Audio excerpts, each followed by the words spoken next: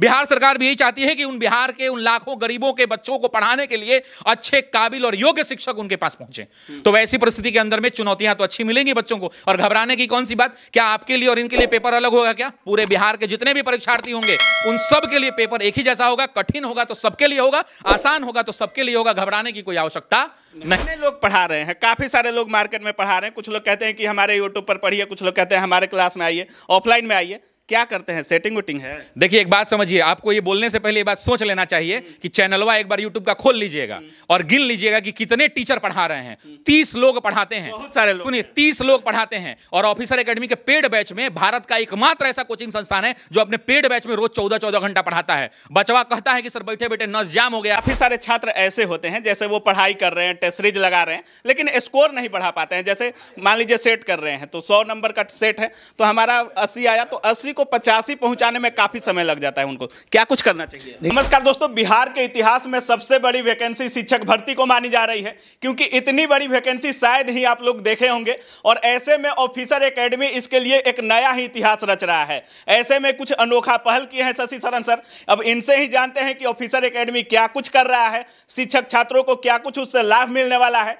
सबसे पहले सर स्वागत है बहुत शुक्रिया बहुत धन्यवाद। सुनने में आ रहा है कुछ अलग ही बवाल मचा के रखे देखिए अलग बवाल की बात नहीं ऑफिसर्स एकेडमी बिहार का इकलौता ऐसा संस्थान है जिसने सबसे ज़्यादा सफलता दी है छात्रों को। चाहे आप टीआरई वन की बात कर ले चाहे टीआरई टू की बात कर ले आपके पास माइक है माइक उठा के घूम जाइए पूरा बिहार का कोई सरकारी स्कूल वहाँ एक बच्चा आपको ज़रूर मिलेगा जो बीपीएससी की परीक्षा पास करके अगर टीचर बना होगा तो उस विद्यालय में एक ऑफिसर एकेडमी का छात्र ज़रूर होगा। तो हमने उनके लिए दिन रात पसीना बहाया हमने चौबीस घंटा पढ़ाया है हमने सातों दिन पढ़ाया है। चौबीस घंटा सातों दिन पढ़ाने वाला एकमात्र भारत का अगर कोई एजुकेशन चैनल है तो वो द ऑफिसर्स एकेडमी है। तो अगर हमने ठाना है कि बिहार के छात्रों को शिक्षक बनाना है तो वैसे सभी छात्र जो छूट गए थे जो हमसे किन्हीं कारणों बस नहीं पढ़ पाए हैं उन छात्रों के लिए हम लेकर आए हैं। और वो ऑफ़र यही है कि हमको दो रुपया में पूरा पेड बैच उनका अगला पंद्रह दिन बीस दिन का रिविजन कराने वाले हैं। कितना में कितना फिर से? दो रुपए में साहब टू रुपीज़ ओनली दो रुपया? जी बिल्कुल दो रुपया। दो रुपए में क्या पढ़ाइएगा? दो रुपए में उनको history geography polity economy science physics chemistry biology current affair maths reasoning ancient history medieval history modern history world history जो छात्र शिक्षक बनना चाहते हैं किसी वजह से अभी तक नहीं जुड़ पाए थे अंतिम मौका है यूज़ कर लीजिए और पढ़ के निकल जाइए। सर यूट्यूब पे तो फ्री आता है चौबीस गुणे सात ये तो हम सुने थे। दो रुपया में पढ़ाइएगा कहाँ दो रुपया मिलेगा? यूट्यूब यूट्यूब के इतिहास में ऑफिसर एकेडमी का Guinness book of world record है। दो सौ तिहत्तर घंटा नॉन स्टॉप सबसे ज़्यादा हमने पढ़ाया है। लाइव लगातार बिना रुके बिना थके। पिछले डेढ़ महीना से चौबीसों घंटा सातों दिन लगातार डेढ़ महीना से लगातार मेरी क्लासेस लाइव चल रही है फ्री ऑफ़ कॉस्ट लेकिन यूट्यूब और पेड बैच के क्लासेस में अंतर बस इतना होता है कि यूट्यूब अनसिंक्रोनाइज्ड है अनऑर्गेनाइज्ड होता है और पेड बैचेस जो होती हैं वो ऑर्गेनाइज स्ट्रक्चर में होती हैं। और हमने आखिरी पंद्रह बीस दिन के बिहार के तमाम छह लाख छात्रों के लिए ये कर दिया है कि जो इधर उधर अभी तक पढ़ रहे थे जिनको रिवीजन करना था वो ऑफिसर एकेडमी से अगर छूट गए थे तो ऑफिसर एकेडमी आ जाइए। सिर्फ़ दो रुपए के अंदर में उनका पूरा रिवीजन कराएँगे और करा के दिखाएँगे और सफलता तक उनको पहुंचाएँगे। आप यूट्यूब पर भी पढ़ा रहे हैं सर और चौबीस गुणे सात पढ़ा रहे हैं आप। बिल्कुल। तो यूट्यूब में और एप्लीकेशन के पढ़ाई में अंतर क्या देखने को मिलेगा? खासा लाभ क्या होने वाला है बीपीएससी शिक्षक के छात्रों? यूट्यूब की क्लासेस और इसमें लाइव ये होने वाला है कि यूट्यूब में अनऑर्गेनाइज क्लासेस होती है। कभी फिजिक्स हो रहा है तो अगली क्लासेस केमिस्ट्री की मिलती है अगली बायोलॉजी की मिलती हैं। लेकिन जब रिवीजन बैच की बात आती है तो क्या बताइए, आप अगर विद्यार्थी हैं, आप रिवीजन करना चाहेंगे तो एक घंटा आप इतिहास का रिवीजन करेंगे, अगला घंटा पॉलिटी रिवीजन करेंगे, अगला घंटा इकोनॉमिक्स रिवीजन करेंगे, अगला घंटा करंट करेंगे क्या? ऐसे रिवीजन नहीं होता है। आप अपने जीवन में विद्यार्थी रहे, हम लोग भी अपने जीवन में विद्यार्थी रहे। रिवीजन का मतलब है, एक विषय उठाया और उसको सुबह से लेकर अंत तक शाम कंप्लीट कर दिया, तब उसका मतलब होता है रिवीजन ऑर्गेनाइज तरीके से रिवीजन होता है। तो उस रिवीजन की चीज़ों को कंप्लीटली ऑफिसर एकेडमी कराने वाला है। इस बैचेस को हमने एक एक हज़ार रुपए में बच्चों को दिया था, लेकिन अंतिम वक्त है ऑफिसर अकेडमी एक जिम्मेदार व्यक्ति होने के नाते, जिम्मेदार चैनल होने के नाते, बिहार के सबसे ज़्यादा बच्चों को हम पढ़ाते हैं, गर्व है हमें। हम लोग कहते हैं कि सबसे ज़्यादा रिज़ल्ट आपके यहाँ से हो, इसलिए होता है क्योंकि आप बिहार के लाखों छात्रों को पेड बैचेज में पढ़ाते हैं। तो हम बस इतना ही कहना चाहते हैं कि जो छूट गया है, वो भी ये ना कहे कि हमें मौका नहीं मिला ऑफिसर एकेडमी से पढ़ने के लिए और हमने ठाना है कि बिहार के जो कुछ स्कूल बच गए हैं, जहाँ ऑफिसर अकेडमी के छात्र अभी तक नहीं पहुँचे टीचर के रूप में, ये आखिरी वैकेंसी हो, लाखों की वैकेंसी है, इस बार कोई छूटेगा नहीं। जब टीआरई वन का रिज़ल्ट आया था तो एक बजे रात का हमारा वीडियो आप लोग देखे होंगे। सर के लैपटॉप पे इनके इनका व्हाट्सएप ग्रुप ओपन था और वो रुक नहीं रहा था। सर मेरा रिज़ल्ट हो गया है मेरा रिज़ल्ट हो गया है। मैं आपको कहीं सेटिंग वेटिंग तो नहीं ना करते हैं आपको सर। याद दिला दिया कि लगभग पौने बारह बजे आपके आसपास का वीडियो हुआ था और लगभग दो ढाई बजे तक तीन चार घंटा तक और अगले दिन मुझे याद है कि लगातार पंद्रह बीस हज़ार लोगों का मैसेज था आपको दिखाया था। देखिए कितने लोग पढ़ा रहे हैं? काफ़ी सारे लोग मार्केट में पढ़ा रहे हैं। कुछ लोग कहते हैं कि हमारे यूट्यूब पर पढ़िए कुछ लोग कहते हैं हमारे क्लास में आइए ऑफलाइन में आइए। क्या करते हैं? सेटिंग वेटिंग है। देखिए एक बात समझिए आपको ये बोलने से पहले ये बात सोच लेना चाहिए कि चैनलवा एक बार यूट्यूब का खोल लीजिएगा और गिन लीजिएगा कि कितने टीचर पढ़ा रहे हैं। तीस लोग पढ़ाते हैं। बहुत सारे लोग। सुनिए तीस लोग पढ़ाते हैं और ऑफिसर एकेडमी के पेड बैच में भारत का एकमात्र ऐसा कोचिंग संस्थान है जो अपने पेड बैच में रोज चौदह चौदह घंटा पढ़ाता है। बचवा कहता है कि सर बैठे बैठे नस जाम हो गया है। और ये भी सुन लीजिए कि कोई सिलेबस कंप्लीट नहीं करता। ऑफिसर एकेडमी डेढ़ डेढ़ महीना में सिलेबस कंप्लीट किया है। ऑफलाइन के आप गवाही रहे हैं। इसी मुसल्लापुर हाट में हमारा बैच चला है सुबह सात बजे से लेकर रात को आठ बजे तक हमने ग्यारह नहीं, तेरह तेरह घंटा लगातार बैठा के बच्चों को पढ़ाया और बच्चे भरोसा से आते हैं ऑफिसर अकेडमी और पढ़ के रिज़ल्ट लिया है लोगों ने। टीआरई वन देखा जाए या टीआरई टू देखा जाए, काफ़ी सारा अंतर देखने को मिला। टीआरई वन से टीआरई टू का लेवल भी थोड़ा अप किया गया था। ऐसे में उम्मीद किया जा रहा है कि टीआरई थ्री का जो क्वेश्चन का लेवल होने वाला है दोनों से थोड़ा बीपीएससी लेवल का रहने वाला है। देखिए प्रश्नों के लगातार लेवल बढ़ाए जा रहे हैं और इसमें मैं इसको गलत नहीं मानता हूँ। जब अगर बच्चों की क्वालिटी बढ़ रही है तो बट ऑब्वियसली बात है कि जब नंबर ऑफ़ एस्पिरेंट ज़्यादा हो रहे हैं तो कोई भी आदमी चाहता है कि हम क्वालिटी लें। आपके पास भी पता चलेगा कि ये बच्चा है पैंसठ परसेंट का ये बच्चा है पचहत्तर परसेंट का। आपको अगर किसी को नौकरी पर रखना होगा और बेस्ड ऑन परसेंटेज रखना होगा तो आप किसको रखेंगे?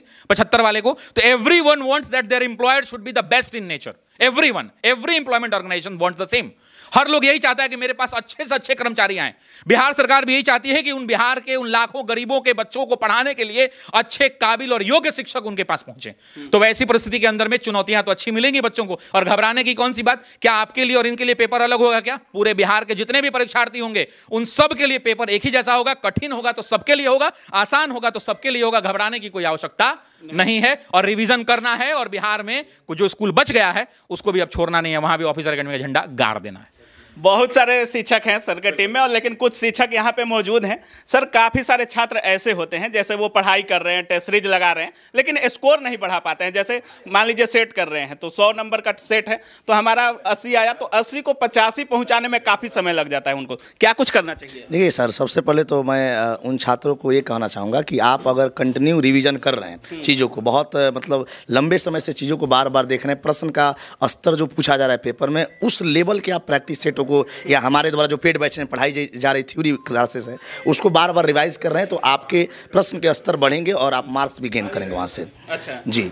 मतलब टेस्ट सीरीज़ जो इम्पोर्टेंट है। बहुत इंपॉर्टेंट है और उससे भी ज़्यादा इंपॉर्टेंट है कि हमारे द्वारा जो थ्योरी सेक्शन बैचेज में पढ़ाई जाती हैं जिसको आप टीचर लिखवाते हैं नोट डाउन कराते हैं या बोर्ड पर हम लोग लिख के पढ़ाते हैं उसको आप बारीकी से बराबर एक समय रखिए कि उस समय में हम रिवाइज करेंगे उस नोट्स को और वहाँ से बहुत अच्छा आप गेन कर पाएँगे मार्क्स को। सर बहुत सारे टीचर स्टूडेंट ऐसे भी होते हैं जो आठ घंटे, कोई दस घंटे, कोई बारह घंटे। लेकिन जैसे ही एग्ज़ाम टाइम आता है, कोई लोग सोलह सोलह घंटे पढ़ाई तो स्मार्ट स्टडी ज़्यादा इंपॉर्टेंट है या हार्ड स्टडी ज़्यादा देखिए एक्चुअली क्या है कि आज के डेट में स्मार्ट स्टडी बहुत ज़्यादा इंपॉर्टेंट है।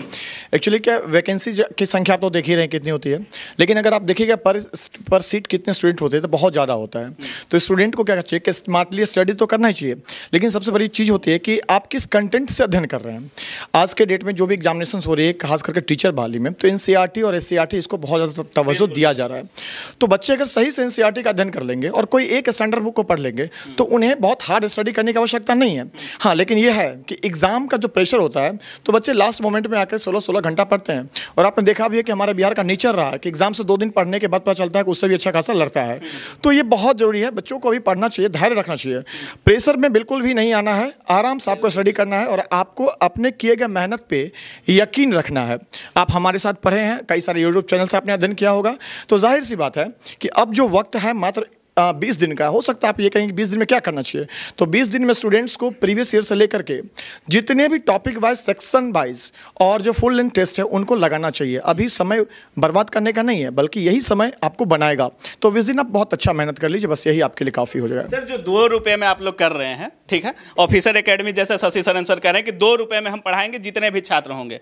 तो उस दो रुपए में अलग क्या दीजिएगा? जैसे यूट्यूब पर भी क्लास है चाहे हर जगह आपका भी एप्लीकेशन पर क्लास होगा। तो उस दो रुपए में सबसे अलग चीज़ क्या मिलने वाला है? सबसे अलग चीज- समय भी काफ़ी कम है। हाँ समय तो बहुत बहुत काफ़ी कम है। लेकिन हम लोग उसे इस समय में हम लोग ये जानेंगे कि जो मास्टर एक होता है कि एक अच्छे प्लानिंग के साथ हम लोग उस बैच को लॉन्च किया और उस बैच को पढ़ाने वाले हैं हम लोग। ठीक है तो उसमें चीज़ें जो होंगी टू द पॉइंट होंगी बहुत सारी ऐसी चीज़ें होती हैं इरेलीवेंट टाइप होती हैं उसको हम लोग इग्नोर करेंगे और हम लोग उसके ऊपर खुद स्टडी कर रहे हैं। और स्टडी करने के बाद कि बहुत सारे ऐसे एग्ज़ाम जैसे टी आर वन हुआ टी आर टू हुआ और टी आर थ्री भी हुआ था वो जो भी प्रॉब्लम्स रहा, जो कैंसिल हुआ। लेकिन उस तीनों एग्ज़ाम्स में हम लोगों ने बहुत चीज़ों को एनालाइज किया कि कहाँ से क्वेश्चन ज़्यादा क्रिएट हो रहे हैं, कहाँ से क्वेश्चन ज़्यादा आने की संभावना है। तो उस चीज़ों को हम लोग समराइज करके और वो बच्चों को देने के प्रयास करेंगे। और पूरे के पूरे ऐसे देंगे ताकि उनको बहुत ज़्यादा फ़ायदा हो और बाकी आप लोग टेस्ट लगा रहे हो तो टेस्ट से द ऑफिसर्स अकेडमी हमेशा तात्पर्य रहा है। सर एक रिज़ल्ट होल्डर में मान लीजिए बहुत सारे छात्र पढ़ाई करते हैं सभी लोगों का होता है कि हमारा रिज़ल्ट हो जाए। तो एक रिज़ल्ट लेने के लिए एक एवरेज स्टूडेंट से अलग क्या कुछ करना होगा? बिल्कुल प्रबंधन और अक्सर जो विद्यार्थी गलती करते हैं लास्ट आवर में वो ये गलती करते हैं कि पढ़े कुछ और हैं। और मार्केट में कई तरह की बातें आती हैं उन नए किताब की ओर नई चैनल की ओर या नए मतलब मटेरियल की ओर भटकने लगते हैं। तब पढ़े हुए चीज़ को पुनः रिवीजन करना यही अंतर डालता है चाहे यूपीएससी एग्ज़ाम हो या फिर आपका शिक्षक भर्ती हो। रही बात की एनसीईआरटी की बात जहाँ तक है तो हमको लगता है जो बॉक्स में चीज़ें दी हुई जो हाईलाइट किया हुआ है वह की वर्ड्स वह भीड़ से अलग करेगा। और उसके लिए बहुत अधिक समय देने की आवश्यकता नहीं है मेरा ये मानना है। प्रबंधन उत्कृष्ट होगा और ऑफिसर अकेडमी अपने इस सामाजिक सरोकार को जानता है। ये कहने के लिए दो रुपया है हमेशा से हम लोग अतिशयोक्तिपूर्ण बात नहीं आप भी देखे हैं, चाहे वह टी आर वन हो या टी हो टू हो, या फिर जो है बीपीएससी का एग्जामिनेशन हो प्लानिंग के साथ यहाँ पर बातें होती है। चलिए। तो बाकी आप देख रहे हैं जिस तरह से जोश है शिक्षकों में और जिस तरह से सर कह रहे हैं। शशि सनन सर भी दावा कर रहे हैं कि हर स्कूल में आपको एक ना एक हमारे, हमारा छात्र ज़रूर देखने को मिलेगा। बाकी दो रुपया में सर एप्लीकेशन पे बैच दे रहे हैं और दावा कर रहे हैं कि हम शिक्षक बना कर रहेंगे। तो आप भी अगर शिक्षक भर्ती की तैयारी कर रहे हैं तो एक बार ज़रूर जुड़ सकते हैं और बाकी क्या कुछ अलग मिलने वाला है आप लोग ज़रूर देखिएगा। बाकी आप देख रहे थे काबिल न्यूज़। जय हिंद।